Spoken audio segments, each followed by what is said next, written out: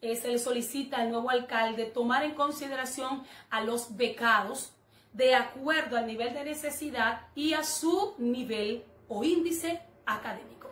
Escuchemos estas importantes declaraciones de Charo Ricky Vicky. Estamos totalmente comprometidos, es la palabra. Comprometidos. El traje no creo que me quede grande porque el que conoce al pueblo sabe lo que quiere y necesita el pueblo, definitivamente. Eh, estamos en lo que es acá porque vinimos a depositar algo que ya en el transcurso de la entrevista te diré. Y por ende te diré que a las seis de la mañana ya estaba en mis labores normales, detrás del ayuntamiento, de los bomberos, eh, mirando los camiones para diferentes vías, ante todo para el área que le toca la zona norte, que es Platanito, San José, Nazaret Villacerro, como siempre, porque soy la misma Charo, con más compromiso encima, con un sueldo diferente al que tenía como supervisora, pero que tiene varias funciones a la vez. ¿Crees que en esta nueva administración debe enfocarse aún más en el combate contra la basura?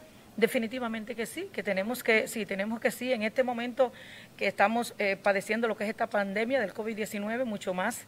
Eh, eh, hablando de ese mismo tema, en el día de ayer aprobamos lo que fue declarar el municipio en estado de emergencia y darle toda la facultad a nuestro alcalde para que él dentro de las medidas que necesite, pues que haga uso de los recursos que tenemos para que todo lo referente al COVID-19, que él tenga eh, eh, diferente, eh, que él pueda acceder a lo que necesite, que tenga recursos para resolver lo que sea en cuanto a lo que el municipio requiere.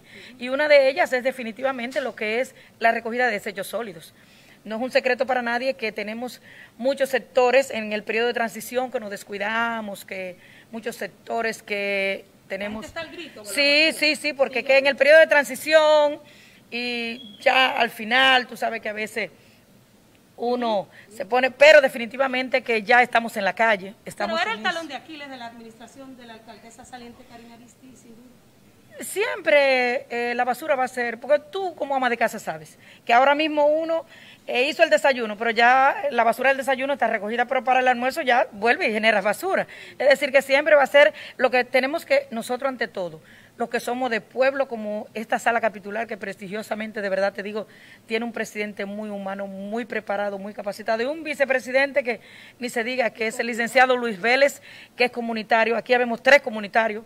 Luis Vélez, Vitico, como le decimos, y mi persona, somos los tres comunitarios. Sabemos de verdad lo que quiere y necesita la gente. O sea, todo lo que parece ser es que ustedes están eh, trabajando de la mano, sin banderías políticas, porque las circunstancias lo ameritan o porque verdaderamente hay que dejar en el pasado es que las luchas y diatribas. Es que las banderías políticas hay que cerrar ese ciclo, porque es que ya nosotros terminamos esa parte y la parte que tenemos es la parte del pueblo que prioriza.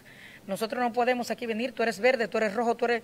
No, no, no, nosotros aquí estamos para servirle al pueblo, que fue lo que el pueblo delegó en nosotros, esta gran responsabilidad, y nosotros no podemos fallarle al pueblo, yéndonos... ¿No importa la línea política que le mande su líder amable, la alcaldesa? Es que eh, no está en discusión para nada lo que es amable Aristi para mí, pero hay cosas que tiene que decidirla directamente Charo, ¿me entiende? Amable Aristi para mí es un personaje que aparte de ser eh, mi líder político, es alguien que yo le guardo un gran afecto, un gran cariño, y eso no es un secreto ni para ti ni para nadie, porque ustedes lo saben, pero ya aquí en la sala capitular yo tengo un compromiso con el pueblo, definitivamente. Entonces aquí yo tengo un compromiso directo con hacer las cosas que le convengan al pueblo.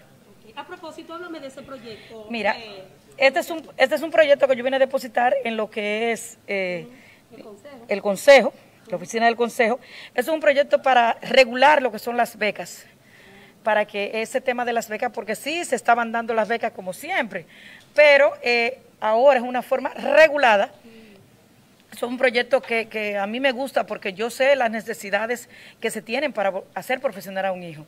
Por ejemplo, eh, mira, mi hijo más pequeño ha sido una inversión tremenda en la cual me siento orgullosa de haberlo hecho y seguiré haciéndolo, tanto con los míos como con cualquiera por ahí de esos muchachos de escasos recursos que quieran estudiar. Tú sabes que en los sectores la mayoría de los muchachos no están pensando, quizás por las pocas oportunidades de pronto que le damos.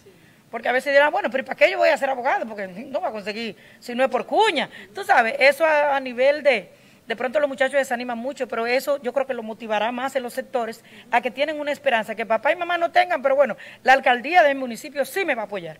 Hubo mucho compromiso con esas becas en campaña.